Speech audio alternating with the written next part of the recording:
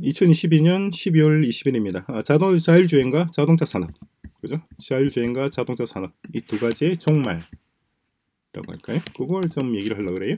제가 지난 에피소드에 자율주행이 안 되는 불가능한 이유를 말씀드렸는데 거기에 대한 어떤 반론을 저한테 제시하신 분들이 좀 있었어요. 그래서 그분들의 요지는 조만간 초절전, 초절전, 초저전력, 저전력 CPU가 나올 것이다.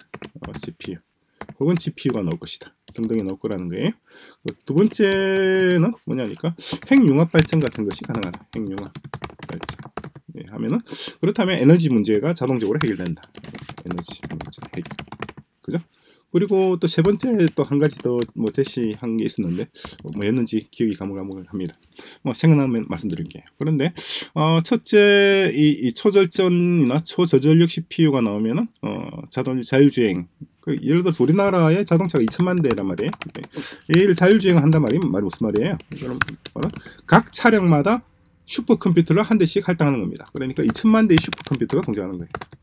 대의 슈퍼컴퓨터. 슈퍼컴퓨터가 추가되는 거죠. 의 차량 플러스 같은 수의 슈퍼컴퓨터.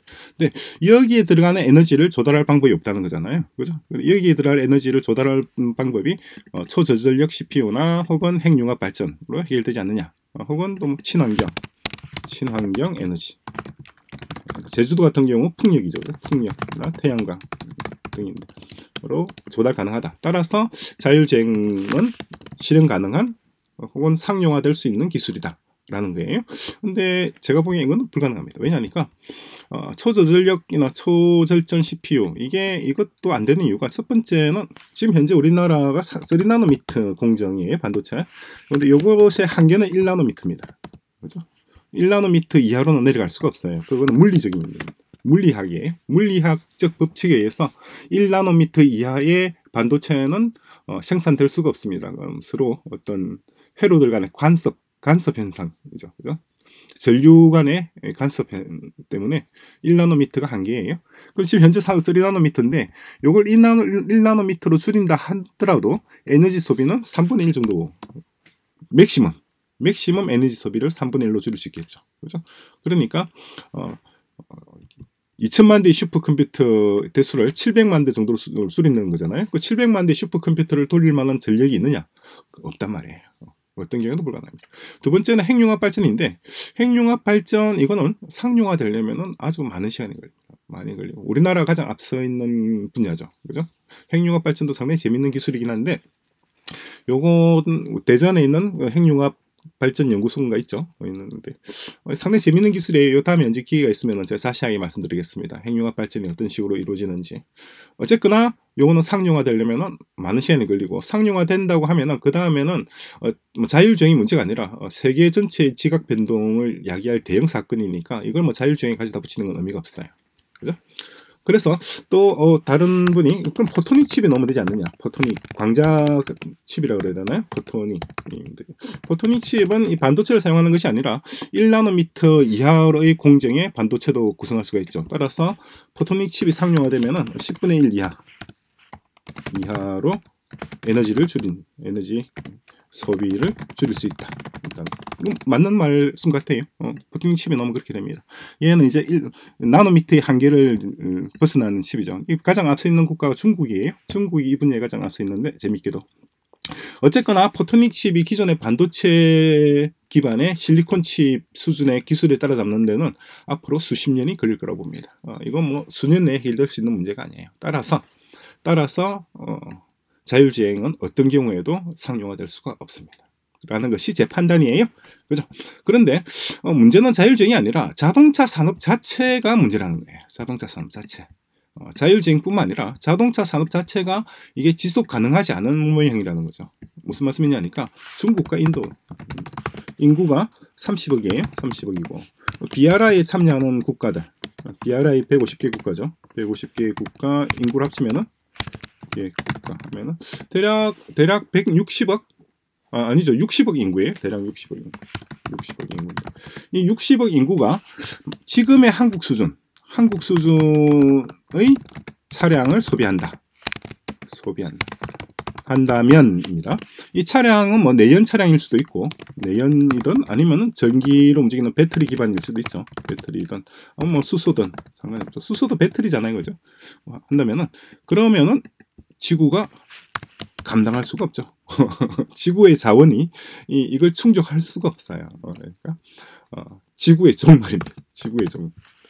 어, 만약에 60억 인구가 그죠? 어, 한국 수준의 차량을 소비한다면 지구는 정말 만약에 내연기관차를 그렇게 움직인다 그러면 지구 온난화로 종말할 것이고 배터리 차량으로 그렇게 한다 그러면 지구 자원 고갈로 어, 지구는 종말을 치달을 겁니다. 그러니까 불가능한데 자동차 산업은 어, 기, 시당초 앞으로의 앞으로 자동차 산업의 수명이라고 할까요? 산업의 수명 산업의 수명은 최대 제가 보기에 최대 10년. 지금 현대 뭐 뭐 뭐 뭐 뭐 기아, 벤츠, BMW, 뭐 테슬라 할 것 없이 다 어, 10년 내로 내리막길 치달을 거예요. 유일한 방법은 이 BRI 160의 인구, 이 인구들이 지금처럼 그냥 소달구지나 끌고 다니고 어, 당나귀 나, 몰고 다니고 자전거 타고 다니고 그렇게 앞으로도 영국이 그렇게 살면 돼요. 근데 이 나라들이 그렇게 하겠느냐는 겁니다. 그렇게 할까요? 제가 보기엔 그렇지 않을 것 같아요. 이 양반들도 자동차를 소비하려고 할 거란 말이에요. 그러니까 지속 가지 않은, 지속 가능하지 않는 음, 산업이에요. 자동차 산업 자체가 어, 쇠락 산업이라고 봐야 돼. 완전한 쇠락 산업이. 그럼 대안은 뭐냐는 거죠. 대안. 어, 자동차를 대신할 뭔가가 나와야 할 것이냐라는 대안이 있죠. 그게 ABC입니다. 우리가 이번 주부터 시작하는 코딩이잖아요. 이번 주에 시작할 ABC 시스템, ABC 신도시라고 할까요? 신도시. 신도시의 목적은 뭐냐? 신도시는 지속 가능한 사회, 지속 가능한 사회의 모형을 제시하는. 지속 가능한 사회의 모형이라는 게 뭐냐니까. 어, 간단하게 에너지 소비, 예, 뭐, 뭐, 뭐, 자율주행 차량이든 뭐든 간에 어, 에너지 소비를 10분의 1 이하로 줄인 사회. 이하로 줄인 사회. 및 산업. 인프라. 구체적으로 어떻게 이게 가능하냐? 10분의 1로 에너지 소비를 줄이는 게 어떻게 가능하냐? 어, 우리가 생각할 때는 제가 생각하는 방식은 노동의 주체를 바꾸는 거. 주체를 사람에서 머신으로 짓는. 머신으로 짓는. 특히 정신노동 혹은 지식노동. 특히 정신 또는 지식노동의 주체를 사람에서 머신으로 전환하는 거. 요게 요렇게만 하면은 이렇게만 하면은 기존의 에너지 소비 어느 도시나 국가의 에너지 소비를 10분의 1 이하로 줄일 수가 있다는 거죠. 그죠? 그게 ABC예요. 우리가 코딩하는 게 ABC입니다. 어떠, 어떻게 어떻게 하길래 어, 그 사람의 지식과 정신 노동을 어떻게 머신으로 전환하느냐. 그 전환하는 과정을 지금부터 우리가 코딩으로 진행하는 거예요. 그래서 어 일단 책을 100권 정도 준비를 했었잖아요. 100권을 준비했는데 이 책들을 강의를 구성을 해 나가면서 어, ABC 시스템 코딩도 같이 구성을 해 나갑니다. 코딩과 코딩과 그리고 강좌를 동시에 진행하는 거예요. 강좌 진행을 하는 방식인데 100권에서 예를 들어서 책을 한 권을 우리가 강의를 진행했잖아요. 그럼 그 책에서 배운 내용 그 책에서 우리가 익힌 예제를 ABC에 적용을 합니다. 그죠? 그리고 또 책을 한 권 또 할 거 아니에요? 그죠? 그런 다음에 또 새로운 책 한 권에서 우리가 배운 지식과 기술을 ABC 코딩에 또 전환을 적용하고 이 과정을 100권을 동안 계속하는 겁니다. 어, 코딩 용어로 하면은 lazy lazy 어, loading이라 그럴까요? lazy loading 혹은 어, 스트리밍이에요. 스트리밍. 스트리밍 개념하고 똑같은 겁니다. 컴퓨터 여러 여러분도 개발자고 저도 개발자니까 어, 제가 지금 하는 말이 무슨 말인지 가 되실 거라고 봅니다. 그러니까 강좌 진행 100권의 책을 한 권씩 한 권씩 한 권씩 강의를 연결해 나가면서 그러면서 각각의 책에서 배운 것들을 ABC 코딩에 적용 적용 적용해 나가서 나중에 100권을 마칠 때쯤이면 ABC가 완성되도록 그렇게 구성하는 겁니다. 그럼 ABC가 완성된다는 말은 무슨 말이냐?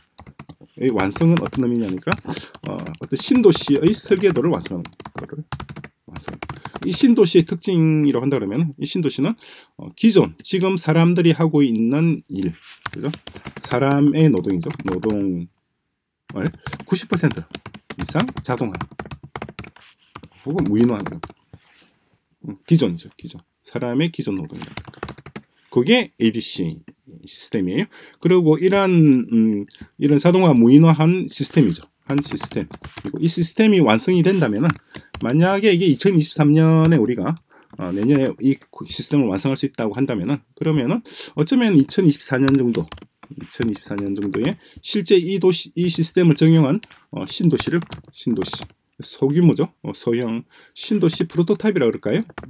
혹은 모형이라 그럴까요? 모형을 건설해 볼 수 있지 않겠느냐는 겁니다.